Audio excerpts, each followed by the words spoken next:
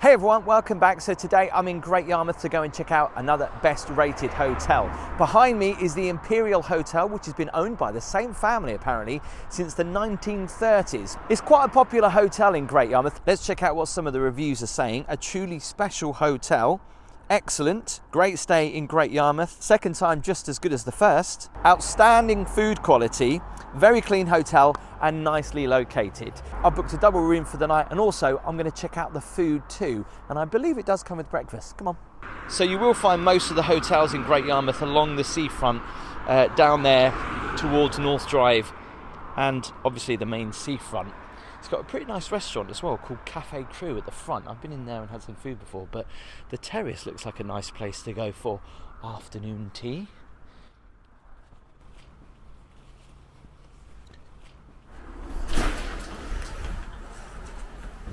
Showbiz.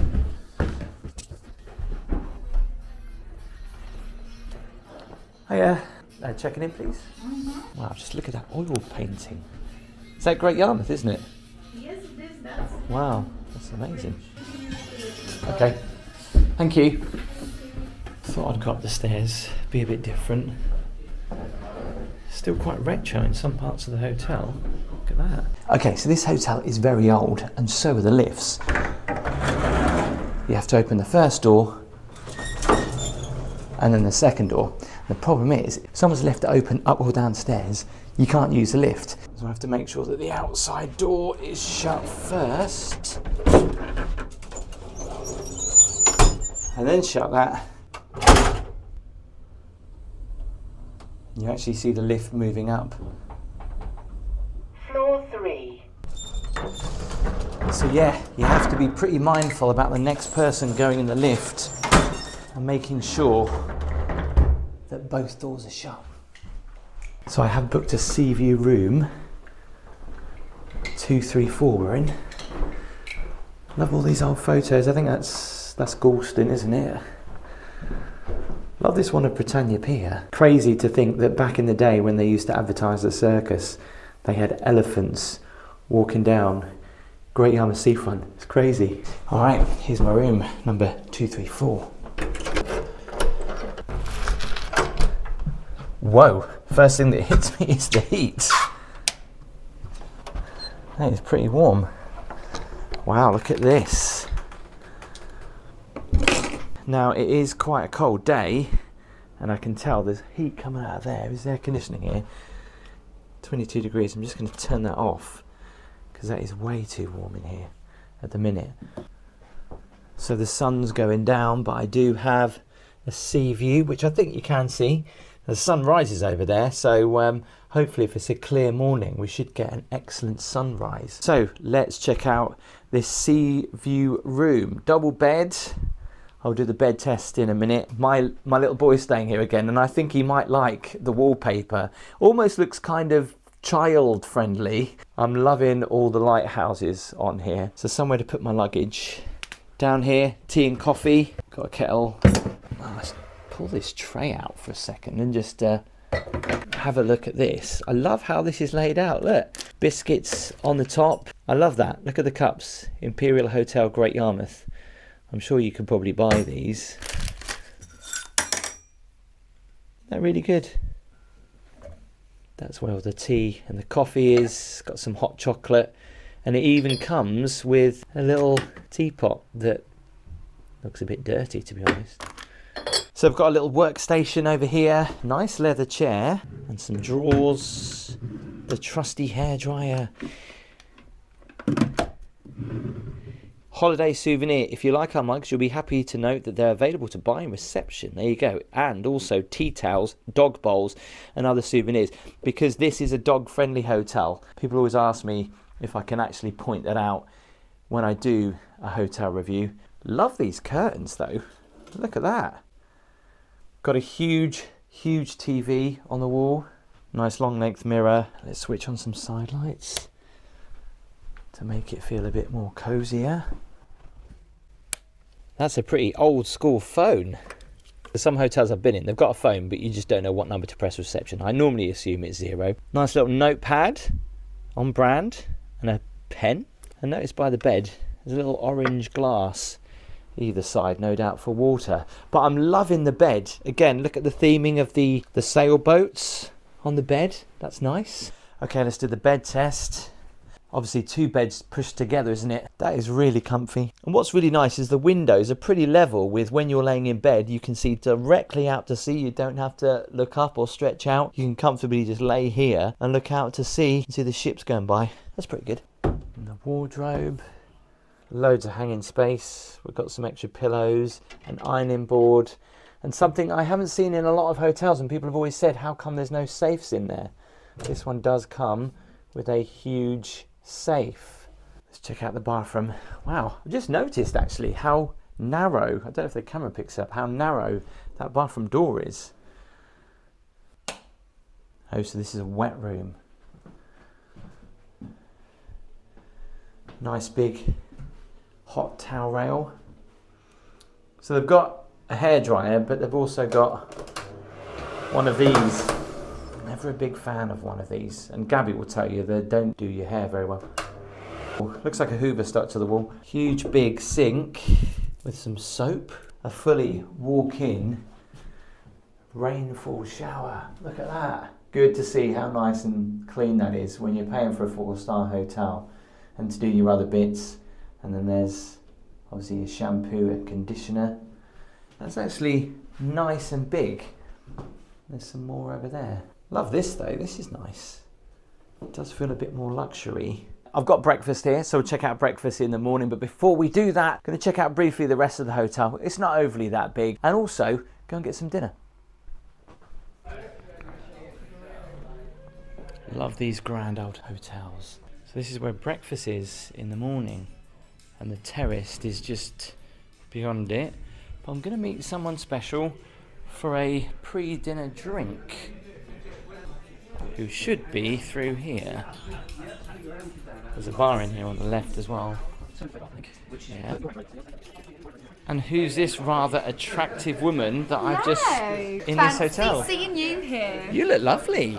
Do I? Thank Yeah. you. That's a really nice thing to say. So I thought being in a four-star hotel, I'll treat myself to a little bit of luxury. I paid for two 15 pounds. A bottle was something like 20 pound. I love these little placemats though. Almost like little beer mats. They're padded. So tonight's dinner is downstairs in the restaurant that is known as Cafe Cru. We've been there before actually. It was our favourite restaurant in Great Yarmouth. Actually, really nice. Yeah, I like it there. Before we do that, of course, having a, a, a few pre-drinks. Cheers. So going down to dinner. So we do love the hotel. We understand it's old, but the only problem is getting down these stairs. I'm have to help you. Look at Bob's putting his hand out to the barrier. He's like, help me. The music over that one. Thank you.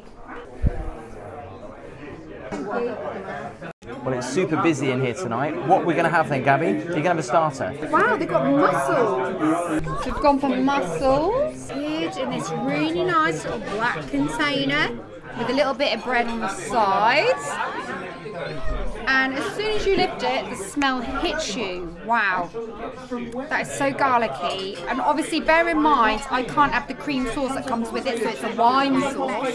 When I'm um, on my own and I'm not being filmed, I use my fingers, but I'm being um, respectable here.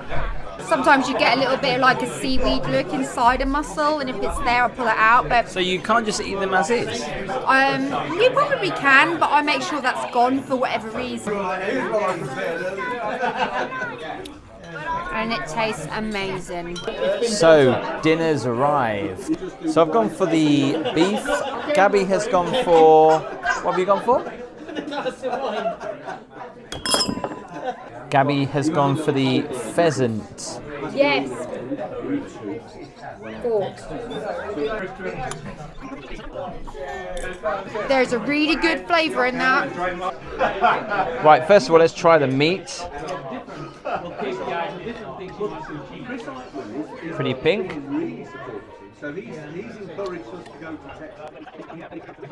Very chewy. Let's try this um, this bomb. Lovely flavour though. Just like a black pudding bomb. I've got to not think about what's in it, but it does taste good. Mm, really good. So really nice meal. Um, I've decided to have dessert in the room I know, quite a nice option. Um, and we'll see you for breakfast in the morning. All right.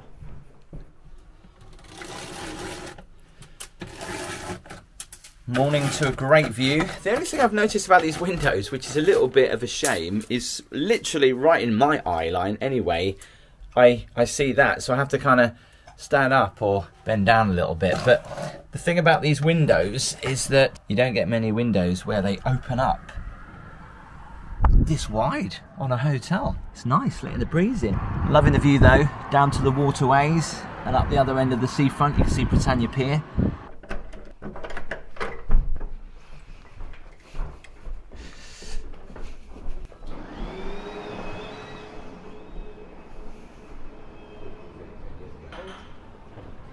Morning. Yeah, this is lovely. Yeah. So breakfast, kind of outside on the terrace. Nice and warm though, isn't it? Outside in. Outside in. If it was a sunny day, you get really lovely sun coming up from there. Yeah. I love how the breakfast is localized as well. So you've got grilled Norfolk kippers, grilled Yarmouth bloater, Lowestoft smoked haddock as well. I don't think we're going to go for any of those. You're going to go for a normal breakfast? I just, yeah. It's Well, just not me. that's not normal, but you know what I mean. yeah, I've just got to go for like the full on shebang, you know. So the Imperial Hotel in Great Yarmouth, is it the best rated? I actually had a really nice stay. I love that it is such a grand old seaside hotel with a little bit of a modern twist. Yeah, I particularly love the fact that it had got that character still. You know, a lot of these hotels have got this modern touch, but when you walk in there, it still feels really vintage, and I really like that. It looks like they have updated their rooms, which is quite nice. I really love the seaside theme. As you do know, I love the seaside and the seaside theme at a hotel. It kind of just goes together perfectly. So let's talk about the room. Obviously, it was two beds pushed together. There was a little bit of a join in the middle, but to be honest, because the bed was so big, we didn't We really, didn't really notice. we didn't really notice that. Obviously, being an old hotel, I think the water took a little while to get hot, didn't it? I think A we did little bit, notice yeah. that. Uh, the meal last night was absolutely lovely. Oh, it was fantastic. We do actually like going into that restaurant. We normally go there on my birthday, sad as it sounds. Only special occasions. Only special occasions because it is quite expensive. I love the lift. It was so old fashioned and it did feel like you was uh, Yeah. stepping back in time. It was very tight at times, but It was very like Tim times. said, it had that something. and there was there was that moment actually when I came down to reception. There was quite a, a little bit of a, a lip to go down, almost like a step. Okay, so I've just used the lift to take Casper down, and um, well, if I look closely, there's quite a gap. Like, there's quite a step down to where the lift is. Bit of a step down there. Whoa! Hang on. But apparently we, we were speaking to the staff there and they were just saying that they've um, just upgraded the lift. You've got a room at the front that overlooks the sea. The view is absolutely fantastic. Breakfast this morning was lovely and uh, the staff couldn't do enough for us. Amazing. Obviously, they didn't know we were coming, um, and this video isn't sponsored by the Imperial Hotel. And compared to a lot of hotels, I like the fact that the parking on the seafront was free. We didn't have to pay for Oh, that. big thumbs up for that. So, thanks for watching the video. Do give it a thumbs up and comment below if you've stayed in Great Yarmouth and what your favourite hotel is. And if you do like Great Yarmouth, why not check out the other side of Great Yarmouth? The video is on the screen now. Thank you for watching. I'll see you next time.